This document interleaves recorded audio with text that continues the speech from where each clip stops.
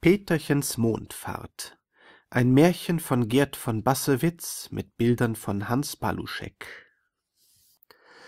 Die Sternenwiese. Auf der Sternenwiese wohnt das Sandmännchen, das eine sehr wichtige Persönlichkeit im Himmelsraum ist und viele Ämter hat. Es muss den Sternen Unterricht im Singen geben, und es muss aufpassen, dass sie am Tage, wenn sie noch nicht am Himmel stehen, ihre Strahlen ordentlich putzen. Lauter kleine, silberhaarige Mädchen sind die Sterne. Jedes Kind auf der Erde hat sein Sternchen. Und wenn das Kind nicht artig war, wenn es Kuchen stibitzt hat, oder wenn es gar gelogen hat, so entstehen auf der schönen Strahlenkrone eines Sternenmädchens hässliche Flecken, sie verbiegt sich, oder sie bekommt Scharten, dann muss das kleine Sternchen putzen mit seinem goldenen Putzläppchen und sich mühen in der Sternenschule auf der Wiese, damit des Krönchen wieder blank und hell wird zur Nacht. Das ist oft furchtbar schwer, und die kleinen Sternchen seufzen dabei vor Mühe. Manchmal weinen sie sogar, denn das Sandmännchen ist sehr streng und lässt es ihnen nicht durchgehen, wenn auch nur das kleinste Fleckchen noch da ist meistens aber sind sie fröhlich und oft gar schrecklich ausgelassen, besonders im Winter, wenn Weihnachten nicht mehr weit ist. Dann hat das Sandmännchen Mühe, Ordnung zu halten, so viel lachen sie. Manchmal lachen sie über die Mondschäfchen, die am Tage in dem Stall auf dem kleinen Hügel wohnen und Purzelbäumchen schießen, manchmal über die Himmelsziegen, die so komisch meckern, manchmal lachen sie auch über gar nichts und so laut, dass man es beinah auf der Erde hören könnte. Das darf natürlich nicht sein. Dann haut das Sandmännchen auf die Pauke, sie bekommen einen Schreck und sind stille wie die Fischchen im See, aber nicht sehr lange. So geht es auf der Sternenwiese zu, wenn auf der Erde Tag ist. Wenn aber der Abend kommt, wenn die Sonne auf der Erde untergeht, dann stellt sich der Sandmann feierlich vor sein Pult, alle Sternchen setzen ihre Kronen aufs Haar und sehen andächtig zu ihm auf. Er wendet im goldenen Mondbuch auf dem Pult feierlich eine Seite um und schreibt hinein, was die Kinder auf Erden am letzten Tag Gutes getan haben. Er weiß alles, denn die Sternchen merken es an ihren Strahlenkronen. Ist dies geschehen, so setzt er sein großes silbernes Sandsiegel unter die Schrift, zwinkert ernsthaft mit seinen kugelrunden freundlichen Äugelchen und zieht an der Glockenschnur. In demselben Augenblick läutet es leise über den ganzen Himmel hin von ungezählten Glöckchen. Zu dieser Musik aber huschen alle Sternenmädchen von der Wiese fort und an den Himmel. Dort stehen sie dann für die Nacht, als winzige Lichtpünktchen, jedes an seinem Platz. Sandmännchen aber läuft zu seinem Fernrohr und guckt, ob sie auch alle richtig stehen. Denn manchmal verirrt sich eins ein wenig an dem großen dunklen Himmel. Besonders den Kleinen passiert das leicht. Manchmal rücken sie auch heimlich ein bisschen zusammen, weil sie sich noch was zu erzählen haben. Sie tuscheln und kichern nämlich genauso gern miteinander wie die kleinen Mädchen auf der Erde. Das ist natürlich nicht erlaubt, und Sandmännchen hält streng darauf, dass so etwas nicht einreißt am Himmel. Ja, das Sandmännchen hat wirklich sehr viel zu tun, besonders am Abend.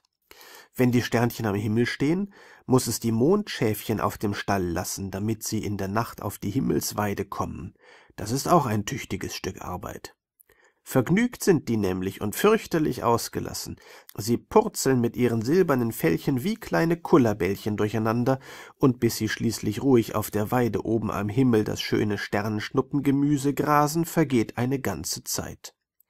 Auch dann noch muss das Sandmännchen aufpassen, dass sie nicht etwa heimlich den Kometenkohl oder die Himmelschoten anknabbern, die dort zwar wachsen, aber den Schäfchen verboten sind, weil die Nachtfee sie braucht, wenn sie ihre großen Mitternachtsessen gibt, zu denen die mächtigen Naturkräfte eingeladen werden. Sind die Mondschäfchen ordentlich auf die Weide gebracht, so ist noch eine ganz besonders wichtige Angelegenheit zu erledigen. Es steht auf der Sternenwiese neben der großen Pauke ein kugelrundes Säckchen, und aus diesem Säckchen schüttet der Sandmann einen feinen Silbersand in ein langes Pusterohr. Dann geht er gravitätisch nach den vier Himmelsrichtungen an den Rand der Wiese, beugt sich weit über das Gitter und bläst den leuchtenden Staub viermal in den Himmelsraum hinaus. Der Staub aber verteilt sich ganz, ganz fein und rieselt durch die Luft herab auf die Erde mit dem Licht des Mondes zusammen. Überall dort, wo Kinderaugen aus dem Bettchen in die Luft gucken, fliegt dieser silberne Sand aus Sandmännchens Pusterohr herum und legt sich leise auf die Augenlider. Die werden müde und schwer davon, man muss sie zumachen und schläft ein. So schickt das Sandmännchen den Kindern den Schlaf und auch die schönen Träume. Mit all diesen Arbeiten war das Männchen gerade fertig geworden, als Peterchen und Anneliese mit dem Maikäfer durch die Nacht herangeflogen kamen. Sie sahen deutlich, wie es steifbeinig auf der Wiese umherlief in seinem Schlafrock, der mit Sternen bestickt war. Auf dem Kopf hatte es eine lange Zipfelmütze und an den Füßen komische, riesengroße Pantoffeln. Von einer Seite der Wiese nach der andern lief das Männchen und passte auf, dass am Himmel nichts in Unordnung kam. Und richtig, plötzlich hatte es die drei Abenteurer entdeckt. Es stutzte, zwinkerte mit den Augen, guckte, schnaubte sich und zwinkerte wieder. Dann aber lief es emsig zu seinem Fernrohr, richtete das auf die Kinder, guckte durch, wischte sich die Äugelchen, putzte das Glas am Fernrohr, guckte noch einmal, und nun hatte es erkannt, was da ankam. Es blies die Backen auf und schlug sich vor Erstaunen auf den kleinen Spitzbauch, seine Augen wurden so groß wie Kuchenteller, und sein Mund stand so weit auf wie eine Ladentür. Was da vor sich ging, war aber auch etwas ganz Unerhörtes am Himmel. Viele tausend Jahre war der Sandmann alt, aber so etwas war noch nicht passiert auf der Sternenwiese, seit er hier Ordnung hielt. Zwei Kinder im Nachthemdchen und ein geigender Maikäfer kamen durch den großen Himmelsraum herangeflogen, als wäre das so ein Sonntagsnachmittagsvergnügen. Dies ging nicht mit rechten Dingen zu, hier musste er sehr energisch sein. Er stürzte also eiligst zu seiner großen Pauke, schlug darauf und schnitt ein furchtbar böses Gesicht. In dem Augenblick landeten die Kinder mit dem Maikäfer behutsam auf der Sternenwiese. Bum, bum, bum, hier ist der Mond, rausgeschmissen wird, wer hier nicht wohnt, schrie der Sandmann sie an und fuchtelte mit dem Paukenstock in der Luft herum. Na, das war gerade kein liebenswürdiger Empfang auf der ersten Station ihrer Reise. Der Maikäfer aber dachte, mit Höflichkeit kommt man am weitesten, und so machte er eine sehr schöne Verbeugung mit Kratzfüßchen hinten raus und sagte, Entschuldigen Sie bitte, Herr Sandmann. Was? Was? Entschuldigen? quiekte das Männchen ganz rot vor Aufregung. Was will er hier?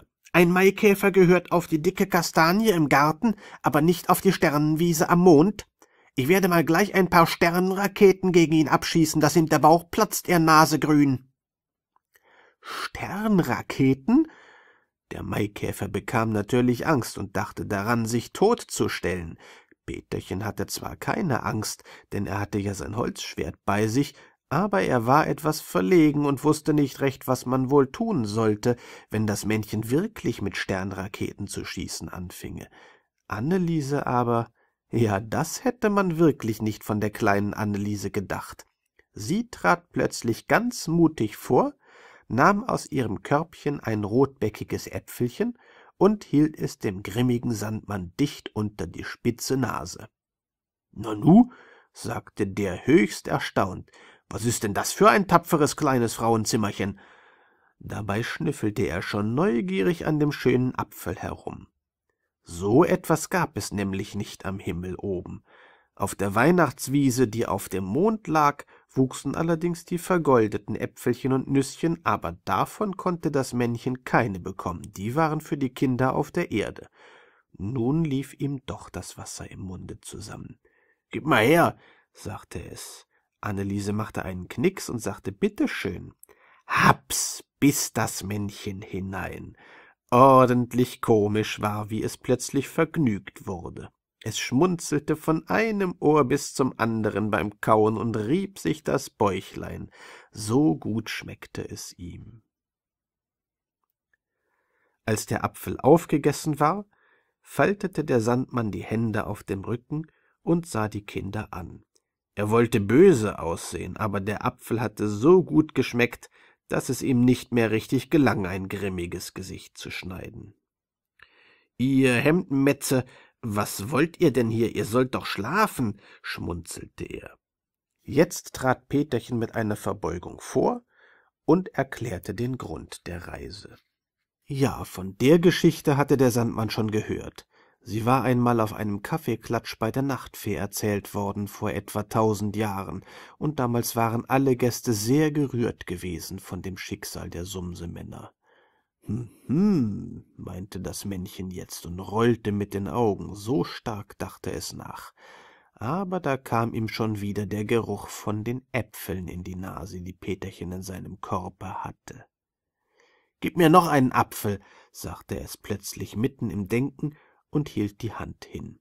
Das tat Peterchen natürlich gern. Als der Sandmann nun auch den zweiten Apfel verspeist hatte, war all sein Grimm verflogen, und er nickte wohlwollend mit dem Kopfe. Ja, ja, die Geschichte der Sumsemänner, die war überall am Himmel bekannt. Aber sollte der Maikäfer nun wirklich zwei artige Kinder gefunden haben, um das Beinchen zurückzuerobern? Das wäre doch ein ganz gewaltiges Glück für die Sumsemänner. Es musste also festgestellt werden, ob die Kinder artig waren, sonst ging die Geschichte nicht. Mit großen, feierlichen Schritten begab sich das Sandmännchen zu seinem Sprachrohr und rief nach dem Himmel hinauf. Die Sternchen von Anneliese und Peterchen sollen mal schnell herunterkommen. Und was geschah? Zwei winzige Sternpünktchen lösten sich hoch oben vom Himmelsgrund und fielen leuchtend herab auf die Wiese. Im gleichen Augenblick standen dort zwei wunderschöne kleine Mädchen mit blonden Locken und lachenden Augen. Silberne Hemdchen hatten sie an und silberne Schuhe, funkelhelle Strahlenkronen aber blinkten auf ihren Köpfen. Peterchen, mein Peterchen, rief das eine Sternchen, meine kleine Anneliese, rief das andere, und dann gab's eine fröhliche Begrüßung. Die Kinder liefen zu ihren Sternchen und sie umarmten und küßten sich. Dem dicken Maikäfer kamen ordentlich die Tränen in die Glotzaugen vom Zusehen. So hübsch war es. Rührung durfte aber nicht einreißen, denn die Geschichte war ernst. Also tat das Sandmännchen wieder sehr grimmig, verbat sich die Küsserei und fragte die Sternchen, ob die beiden Kinder Peterchen und Anneliese kein Fleckchen auf die Kronen ihrer Sternchen gemacht hätten. Da lächelten beide Sternchen und schüttelten ihre silbernen Locken, blitzblank waren die Kronen. Jetzt schmunzelte das gute Sandmännchen, denn es freute sich sehr darüber, und die Kinder durften den Sternchen noch einen Kuss geben. Ach, war das schön, so ein Sternchenkuss schmeckt so lieb, dass man es wirklich gar nicht beschreiben kann. Man muss es erleben, und man erlebt es, wenn man gut ist. Husch waren die Sternchen wieder fort und standen als Lichtpünktchen am Himmel. Die Kinder guckten ihnen ganz traurig nach, aber plötzlich mussten sie laut lachen. Der Maikäfer tanzte nämlich wie ein Verdrehter auf der Sternenwiese herum und warf dabei mit den Beinchen mindestens ein Dutzend Sternenstühlchen um, die dort standen. Er freute sich, dass die Kinder artig waren, denn in seiner Familiengeschichte stand, artige Kinder müssten es sein, sonst sei alle Mühe umsonst. Nun war es sicher, dass er sein Beinchen wiederbekam. Schrecklich freute er sich. Der Sandmann verstand zwar, dass das Sumsemännchen sich freute, aber dass es die Sternenstühlchen umwarf, war gegen die Ordnung, und er verbat sich dieses maikäferhafte Benehmen sehr energisch. Ein Freudentanz sollte das sein? Ein ganz dummes Rumgebrumsel sei es. Auf der Sternenwiese machte man so was nicht, überhaupt, wenn man so dick wäre und so unsicher auf den Beinen, da hatte der Sumsemann seine Strafpredigt weg. Das Sandmännchen ist sehr ungebildet, dachte er, denn die Maikäfertänze sind die schönsten Tänze der Welt, das weiß jeder. Und er, der Sumsemann sei unsicher auf den Beinen, so was Lächerliches. Alle wüssten, wie elegant er auf den Kastanienblätter im Garten tanzen konnte, und nun sollte man ihn erst mal sehen, wenn er das sechste Beinchen wieder hätte. Beinahe hätte er laut gelacht, aber er verkniff sich das Lachen, denn er war vorsichtig und wollte sich nicht unbeliebt machen. Entschuldigen Sie, Herr Sandmann, sagte er, machte einen Kratzfuß und sah bescheiden aus. Nur ganz heimlich warf er den Kindern ein paar Kußhändchen zu. Sandmännchen hatte den Finger an seine Nase gelegt und dachte tief nach. Es war nämlich eine recht gefährliche Geschichte, die von den beiden Kindern unternommen werden sollte. Und weil er sie schon sehr lieb hatte, wollte er ihnen nun auch mit allen Kräften beistehen auf der weiteren Fahrt. Plötzlich kam ihm ein Gedanke. Gerade heute, um zwölf Uhr mitternachts, gab die Nachtfee einen Kaffeeklatsch für die Naturgeister in ihrem Schloss. Er war auch eingeladen. Die Nachtfee war sehr mächtig, viel mächtiger als er. Sie war es ja auch gewesen, die vor vielen hundert Jahren den bösen Holzdieb auf den Mondberg verbannt und den Sumsemännern erlaubt hatte, mit artigen Kindern das Beinchen von dort wieder herunterzuholen. Wenn er die Kinder also mitnähme auf das Schloss der Nachtfee zu dem Kaffeeklatsch, sie war eine gütige Fee und würde ihnen sicher ihren Schutz leihen. Peterchen und Anneliese konnten bei dieser Gelegenheit sogar die Naturgeister kennenlernen, die ihnen vielleicht später beistehen würden. Ja, das war ein prächtiger Gedanke. Das Männchen machte einen Sprung in die Luft vor Vergnügen über diesen Einfall, dass sein spitzes Bäuchlein nur so wackelte. Dazu schrie es Ich hab's, ich hab's, ich habe einen himmelsraketenmäßig prächtigen Gedanken, Kinderchen. Und er erklärte ihnen alles, was er vorhatte. Das war allerdings ein wunderbar schöner Plan.